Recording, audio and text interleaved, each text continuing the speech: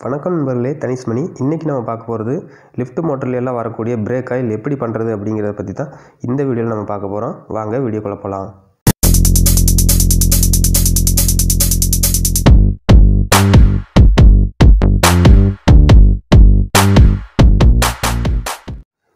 இதுதான் பிரேக் ஆயிலோட ஸ்டேட்டாரு பாருங்கள் இதுதான் மோட்டரோட பேக் சைடில் கவர் ஆகி உட்காந்துருக்கும் ஸோ இப்போ என்ன இந்த சப்மர்சிபிள் பம்ப் இருக்கு இல்லையா அதோட கோரா அந்த கோராவை வச்சு தான் நான் காயில் சுற்ற போகிறேன் ஸோ இதுக்கு உண்டான சூட்டபுளான டை என்கிட்ட இல்லாதனால ஸோ இதை வச்சு பார்க்குறேன் ஸோ கரெக்டாக இருக்குது. இதோட அவுட்ரு கரெக்டாக இருக்குது ஸோ அந்த சென்டரில் இருக்க அந்த ஸ்டெப் இருக்கு இல்லையா அந்த ஸ்டெப்பை விட இந்த கோரா கொஞ்சம் பெருசாக இருக்கணும்.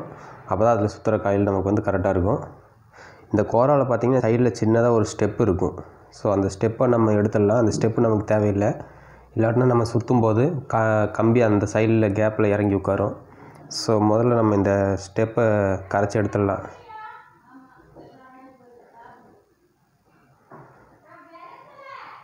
ஸோ இப்போ சணக்கல் மோட்டரில் நான் லைட்டாக அப்படியே அழகாக கட் பண்ணி எடுத்துகிட்ருக்கேன் அவ்வளோதான் பாருங்கள் எல்லாம் நீட்டாக கட் பண்ணி எடுத்தாச்சு.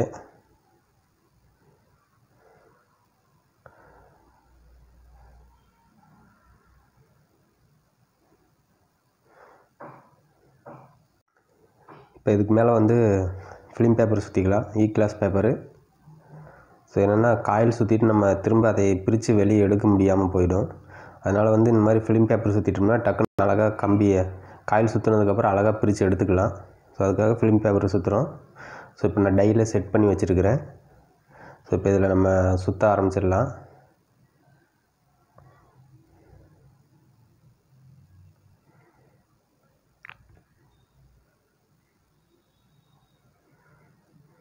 கரெக்டாக அந்த உள்ளுக்குள்ளே கம்பி சைடில் போகாமல் சுற்றி எடுத்துக்கலாம்.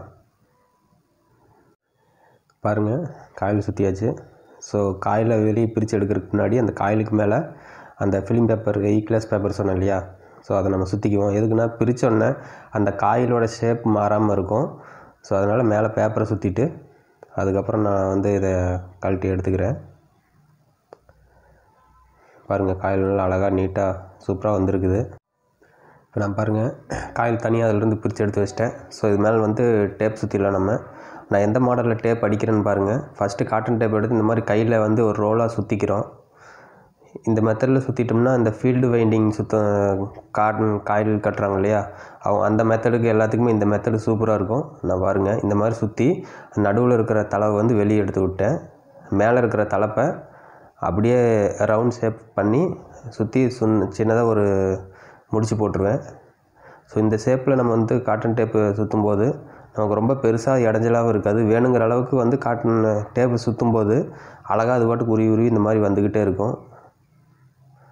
ஸோ இப்போ நான் கனெக்ஷன் போட்டுடுறேன்.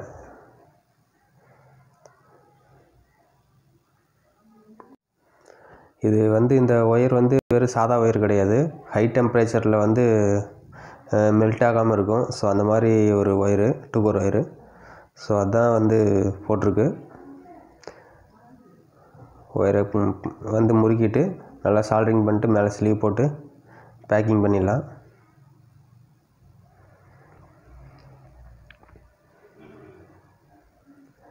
பிரேக் ஆயில் பண்ணுறது வந்து பெரிய விஷயம் இல்லை ரொம்ப ஈஸி தான். ஆனால் அதோட பேக்கிங் ஃபினிஷிங் இருக்கு இல்லையா அதில் கோட்டை விட்டோம்னா கண்டிப்பாக வந்து பெரிய பிரச்சனையில் கொண்டு விட்டுரும்.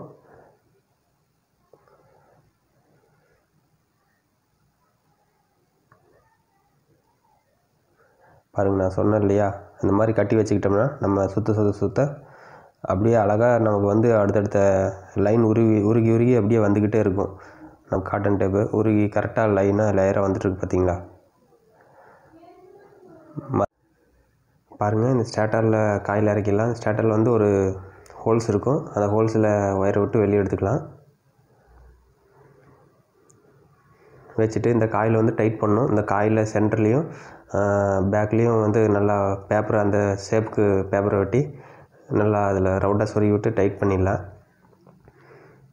ஆனால் இது மட்டும் போதாது. பிரேக் ஆயிலை பொறுத்த வரைக்கும் எப்போவுமே நம்ம வந்து காயில் கட்டினதுக்கப்புறம் இதுக்கு மேலே வந்து ஒரு காம்பவுண்டு ஊற்றுவாங்க ஸோ அந்த காம்பவுண்டு ஊற்றுனா தான் வந்து காயில் வந்து நல்லா நல்லா லைஃப் வரும். அதே மாதிரி லோடில் பிடுங்கிட்டு வெளியே வராமல் இருக்கும். ஸோ அதுக்காக ஒரு காம்பவுண்ட் ஊற்றுவாங்க அந்த காம்பவுண்ட் நான் ஊற்றலை என்னென்னா இது வந்து எனக்கு ஒரு வேறு கடையிலேருந்து வந்தது. காயில் மட்டும் கட்டி கொடுக்க சொன்னதுனால கட்டி கொடுத்துட்றேன் அது வந்து காம்பவுண்ட் வந்து அவங்க ஊற்றிக்குவாங்க ஸோ இதுக்கு நமக்கு வந்து காம்பவுண்டு கிடைக்கலன்னா நம்ம வந்து இது இதுக்கு ஒரு மாற்று வழி வந்து மேலே அரால்டிட்டை ஃபுல்லாக ஊற்றி விட்டுறலாம். ஊற்றி விட்டோம்னா காயில் நல்லா டைட் ஆகிக்கும் ஸோ நான் வந்து டெலிவரியில் வந்து காயில் பிடுங்கிட்டு வராமல் இருக்கிறதுக்காக நான் டெம்பரவரியாக உள்ள பேப்பர் வச்சு லாக் பண்ணி டைட் பண்ணி கொடுக்குறேன் அவ்வளோதான்